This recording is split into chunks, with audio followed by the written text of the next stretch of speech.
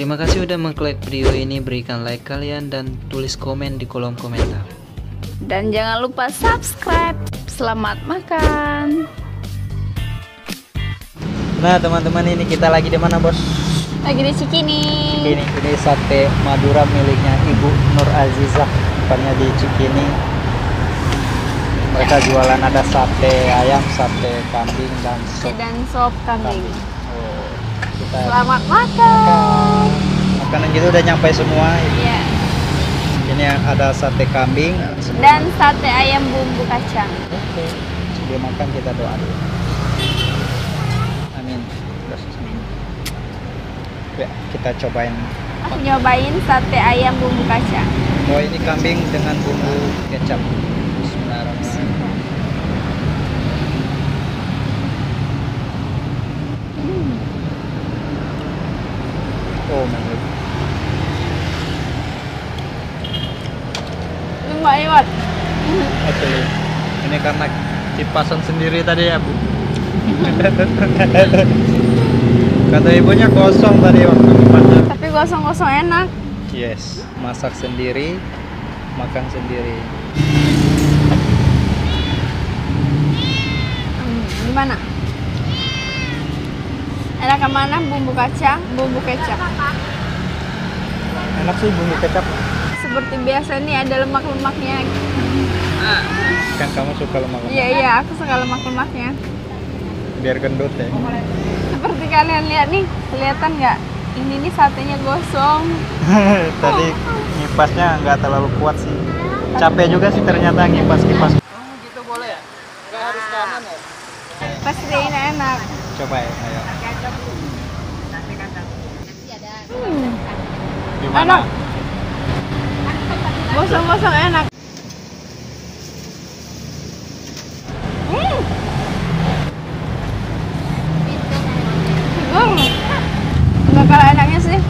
Sate ayam sama sate kambing. Sate itu ada ciri, ciri khas masing-masing. Sudah bener sih. Mereka buka dari jam 5 sore sampai jam 11 malam. Kamu nggak suka bawang ya?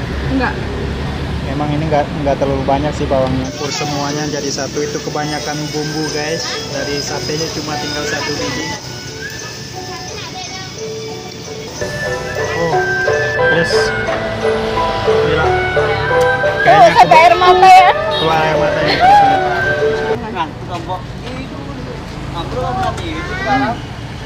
Itu lebih enak ya terus.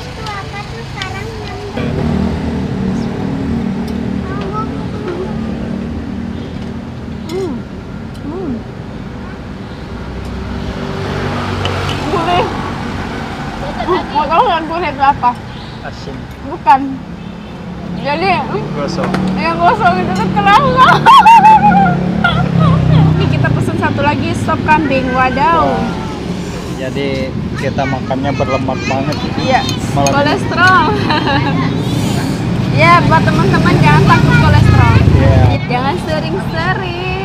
Oh, ya enggak, ya enggak, ya enggak. Kuahnya lagi panas-panas, itu langsung diseruput. Ah, sedap.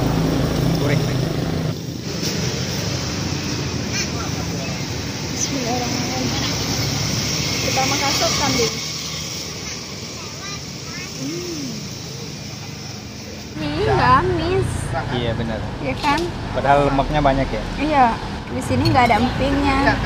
Biasanya kan kalau sop-sop itu ada emping. Di sini mereka nggak pakai emping. Ini ibunya ini orang Madura asli guys.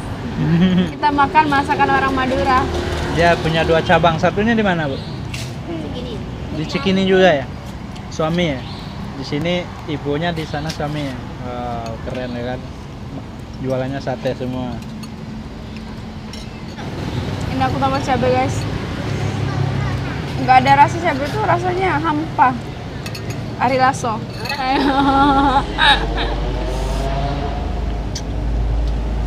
hmm. Mantap. Mantap lah pedas pasti. Kenapa? Pedas. Enggak.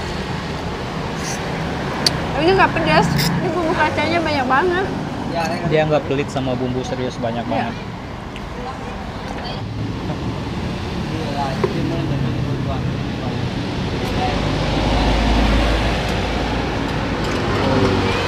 Lumayan pedes. Kalian kan mana pakai cabai emang nggak tambah cabai? pakai cabai lebih mantap Iya iya. lebih spicy dia Ini secara gitu loh. Iya. oh ini enak banget pokoknya rekomendasi kalau kalian ada di Cikini itu mampir di sini enak ibunya jualan di pinggir jalan kok Ya iya di pinggir jalan kalau di tengah jalan mah ditampar.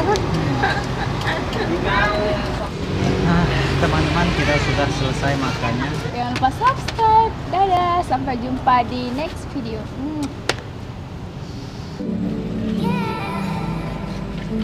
Dan ini mereka buka dari jam 5 sore sampai jam 11.